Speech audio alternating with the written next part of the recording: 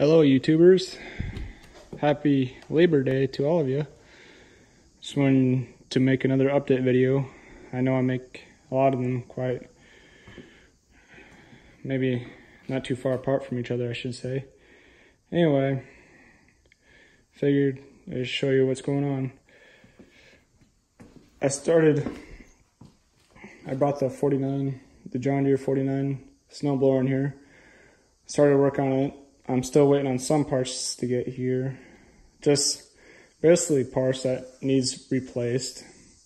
Nothing's wrong with it. Just like I said, parts that need replaced. So I re replaced the chute already because we had one bad winter storm last year that pretty much tore it apart.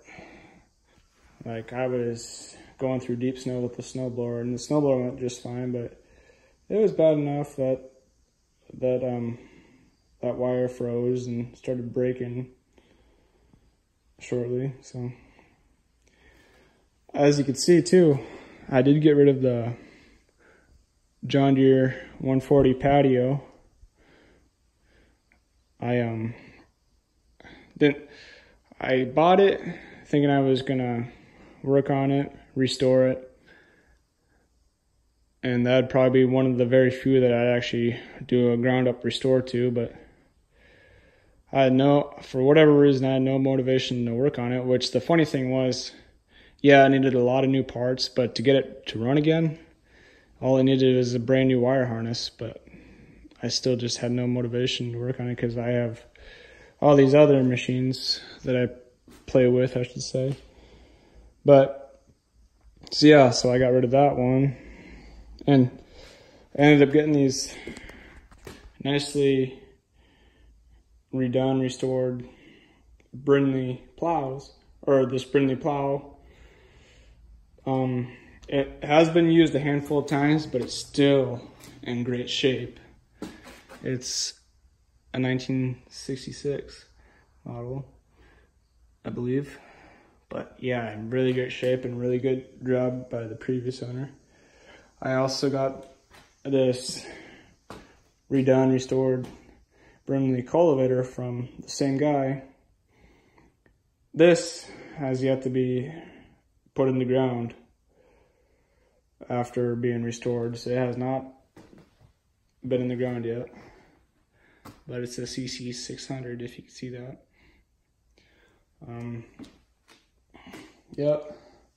So some stuff has changed. I'm trying to clean up a little bit. I do have another round fender coming. Probably the third week of this month, so I'll probably make a video on that. I need to do a little bit of work to it, but I know it's in runnable condition. The loader, the loader, the Johnson 10 loader I got, I am going to put on that round fender that I'm getting. Yeah, then here's the 64 110. I need to get it out and drive it around. But my, I guess I haven't really just, I've been messing with the other ones. So I haven't really touched it. Um, got a bigger air compressor as you can see.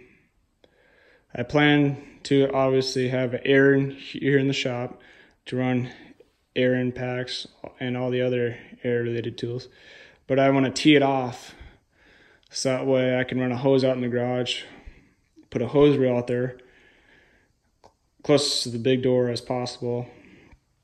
So that way I can run a, the hose reel, I can run, I don't know, 50 feet maybe, maybe even more outside, just in case I need to air up a tire, for example. But yeah, I just figured I'd make an update video of what's going on.